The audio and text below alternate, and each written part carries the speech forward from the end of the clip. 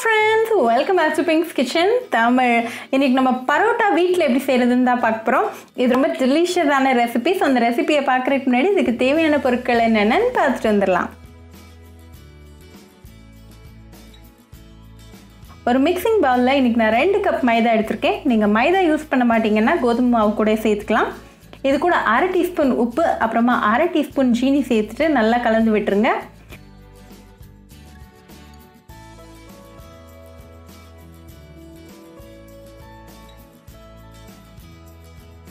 சென்டரில் ஒரு well form பண்ணிவிட்டு கொஞ்சம் கொஞ்சமாக தண்ணி சேர்த்து கலந்துக்கோங்க. நல்லா பிசைஞ்சு விட்டுருங்க. நமக்கு சப்பாத்தி மாவு மாதிரி வரணும். இப்போ நமக்கு சப்பாத்தி மாவு மாதிரி சூப்பராக வந்திருக்கு. ஸோ இந்த ஸ்டேஜில் ஒரு டீஸ்பூன் எண்ணெய் சேர்த்துட்டு அகேன் நல்லா பிசைங்க.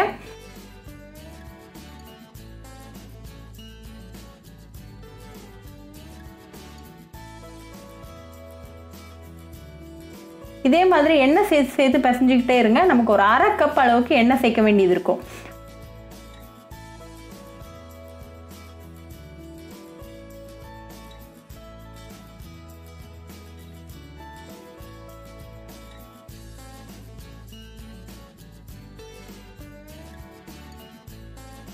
இப்போ நல்லா பிசைஞ்சாச்சு நல்லா ஸ்மூத்தாக வந்திருக்கு மாவு. இந்த ஸ்டேஜில் மேலே கொஞ்சம் எண்ணெய் தடவி வச்சுட்டு ஒரு ஈர துணி வச்சு மூடி வச்சுக்கலாம்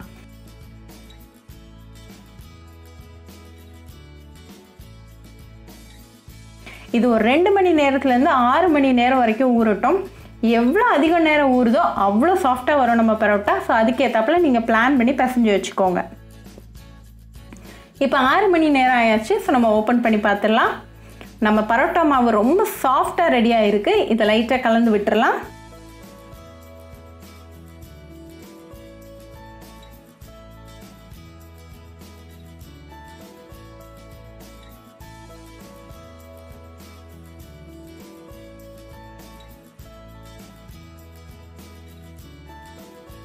இப்போ இதுலேருந்து ஒரு ஸ்மூத் பாலை எடுத்து தனியாக எடுத்து வச்சிடலாம். இது மாதிரி ஏழுலேருந்து எட்டு பால்ஸ் பண்ணி ரெடியாக வச்சுக்கலாம். இப்போ ஒரு எவசில்வ தட்டுக்கு பின்னாடி எண்ணெய் நல்லா தடவிடலாம்?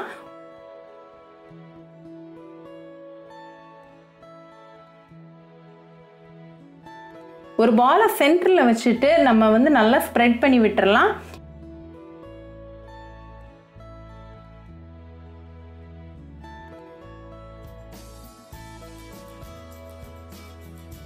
நல்லா மெல்லுசாக ஸ்ப்ரெட் பண்ணி விட்டுருங்க. இந்த மாதிரி கொஞ்சம் கேப் விட்டு நல்லா கட் பண்ணிக்கோங்க.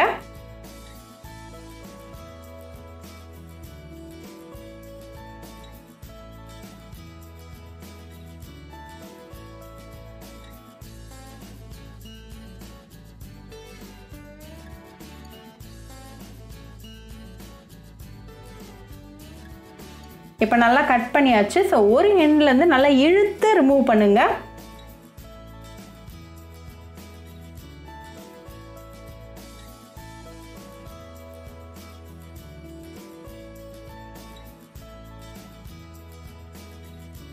இதை நல்லா ரோல் பண்ணி வச்சுக்கலாம் நம்ம இது மாதிரி.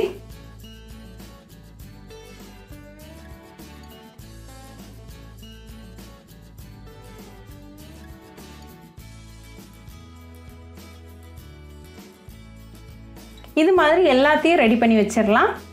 இப்போ அதே தட்டுக்கு பின்னாடி நல்ல எண்ணெய் தடவிட்டு நம்ம ரோல் பண்ணி வச்சுருக்கிறத சென்டரில் வச்சுட்டு கையால் ஸ்ப்ரெட் பண்ணி விட்டுருங்க. நல்லா மெல்லுசாவே ஸ்ப்ரெட் பண்ணிடுங்க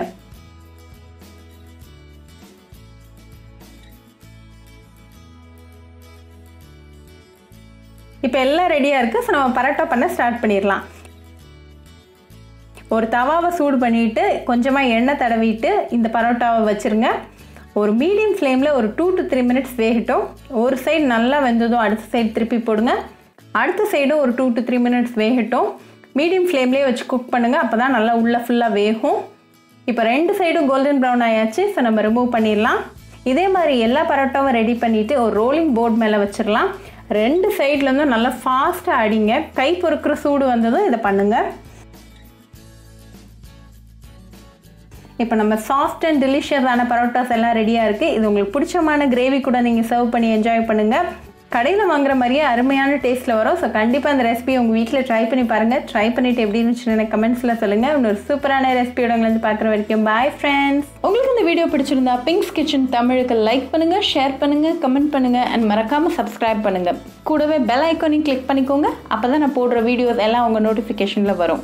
உங்களுக்கு ரெசிபிஸ் இங்கிலீஷில் பார்க்கணும்னா பிங்க்ஸ் கிச்சன் சேனலை பாருங்கள் சேனலோட லிங்க் நான் அந்த டிஸ்கிரிப்ஷன் பாக்ஸில் கொடுக்குறேன். மறக்காமல் செக் பண்ணுங்கள் இன்னொரு இன்ட்ரெஸ்டிங்கான ரெசிபியோட உங்களை பார்க்க வர வரைக்கும் பாய் ஃப்ரெண்ட்ஸ்